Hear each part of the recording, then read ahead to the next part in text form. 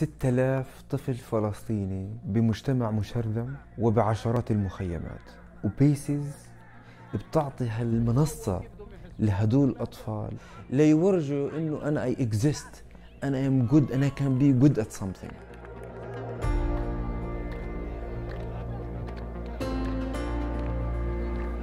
إحنا في النرويج عندنا بطولة كأس النرويج الدولية بكرة القدم للناشئين وجايين نشارك في البطولة. I was really excited about Paces and everything that Paces has to offer. So I decided to come to Norway with the Paces team to get a sense of uh, their real initiatives, to meet the Paces children and to see how they play, to see how they interact. Opportunity uh, given to us by Paces to meet uh, Paces students is, is unique.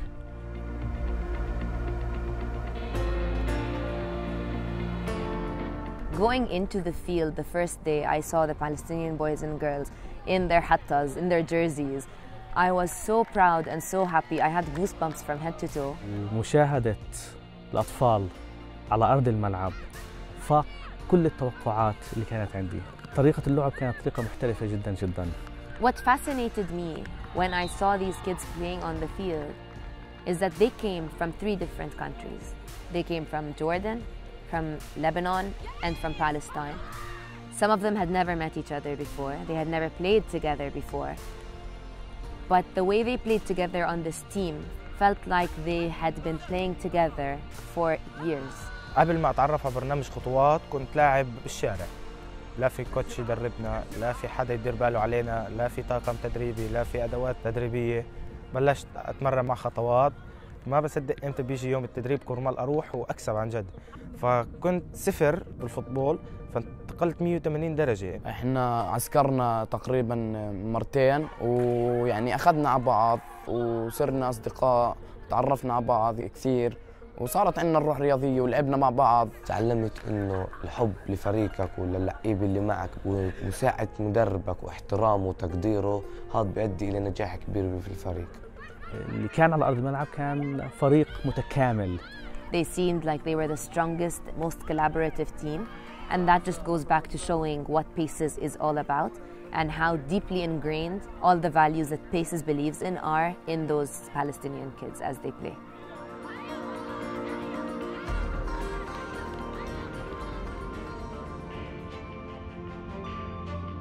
They have surpassed so many obstacles to be here and not only doing their best but surpassing other teams that are more privileged and that have gotten a better chance. كنت اروح انا مسافه 5 كيلو 6 كيلو بس كرمال اروح على التمرين فكنا نروح مشي ونيجي مشي These kids have not gotten these chances yet.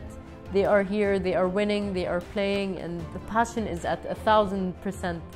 كان واضح جدا بكل خطوة كانوا يلعبوها إنه ما كانت فقط مجرد عن الرياضة هي كانت مبادرة إثبات نفس وإثبات ذات. وهاي السنة بيثبت على إنه وصولهم للنهائيات آه لما تحكي أنت على نوروي كاب ويوصلوا بالاخير للنهائي أكيد آه هذا إنجاز وفاق كل التوقعات الموجودة عندي. I am proud to call myself a Palestinian by just watching these kids represent Palestinians in such a beautiful manner. And you see this in the games that happened all throughout. The Palestinian children had the nicest spirit, you know, they helped other kids off the field when they were injured. They were uh, hugging them when the other team was losing. And they were being so compassionate to the other team that was losing because this is what Paces was teaching them, you know.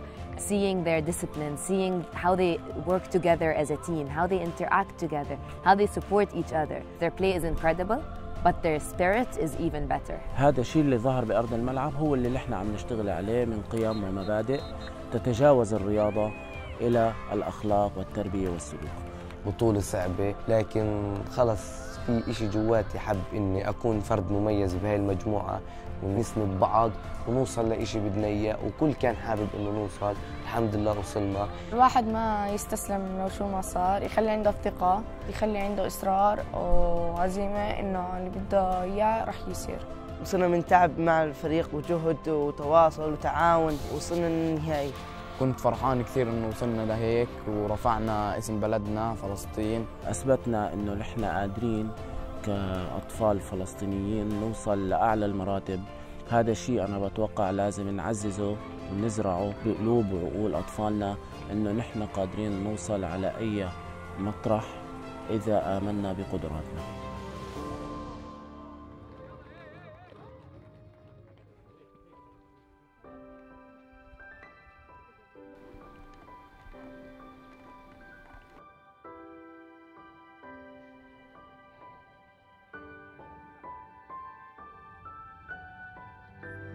I think it's it's such a beautiful way to raise awareness is through going on hikes or going on, on trips that remind you that everyone is equal.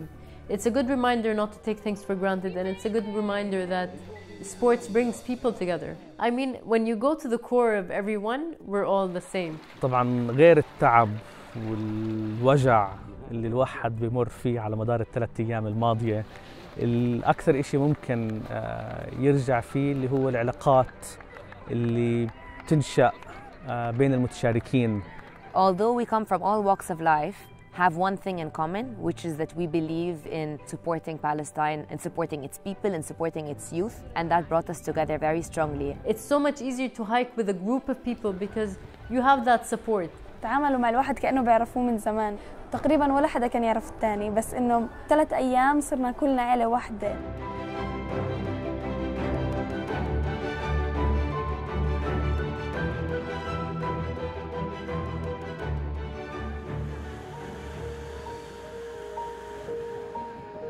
Coming here with the kids is really extremely important because we expose them to so much, allowing them to learn from different cultures. These kids are coming from refugee camps, and refugee camps are uh, almost makeshift cities. And seeing these kids coming all the way to Norway and having them interact with people from different cultures and being so graceful in the way they deal with other children is just beautiful to witness. اكتسبت ثقتي بنفسي اكتسبت حب الآخرين إلي وصرت أتعامل مع العالم على طبيعتي. علمتنا الأخلاق الرياضية العالية. أخلاقك أهم من نتيجة المباراة. لما تكون أخلاقك عالية بالملعب الكل بحبك بالملعب. كيف ما كانت نتيجتك الكل بحبك ربحان أو خسران؟ مشاركتهم بالنرويج هي بتعطيهم نوع من إنه يصيروا يشوفوا العالم من منظور ثاني فهذا الإشي بوعيهم وبفتح مخهم أكثر إنه يعملوا تغيير إيجابي في مجتمعاتهم. آه، لفت نظري اللي هي مكان جائزة نوبل للسلام. أنا كنت أسمع إنه في شيء اسمه جائزة نوبل للسلام بس ما كنت أعرف إنه وين موقعها؟ ما كنت أعرف إشي لإلها. أكثر إشي لفت انتباهي إنه الكل هناك بيمارس الرياضة كبار صغار. نظامهم إنه كل شيء مواعيد محددة نظامهم دقيق وحياتهم تختلف عنا كثير يعني بتشوف حياة غاد غير وعنا غير. So many Norwegian kids and international kids were there supporting the Palestinian teams because they saw Palestine in the most positive light, competing, fighting, fiercely fighting on the field with so much skill, so much talent, so much sass, and really that made everyone so much more aware of what Palestine is. Finally, they saw us as peaceful, powerful people, and really that's why these trips, I think, are extremely, extremely important.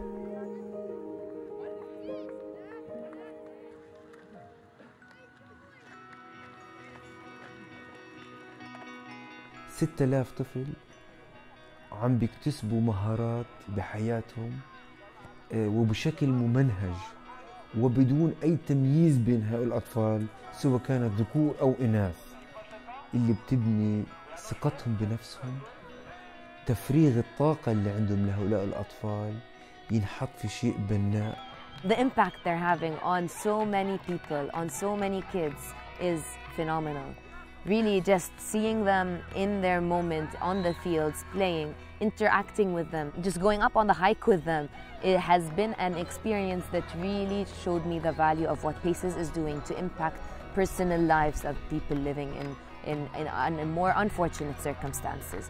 مؤسسة خطوات مفتوحة لجميع المجالات فبإمكان أي شخص بده يمارس الرياضة يروح مؤسسة خطوات أول إشي تهتم بالطفل تدعمه تعطيه الثقة بتقدم له كل الخدمات اللي بيحتاجها أكثر شيء اثر عليك انه هو اللعيبه اللي معك والمدربين لانهم كلهم مرقوا عنك بمحطه وحطوا فيك شيء حلو مش ما راح تنساه This has been transformational in every sense of the word. And honestly, I have never in my life seen a group of people that is so committed, so passionate, and so eager to achieve something. And I'm really excited that I got the chance to witness that and to finally see them happy, to see them smiling, laughing, and living the childhood that they really deserve to live.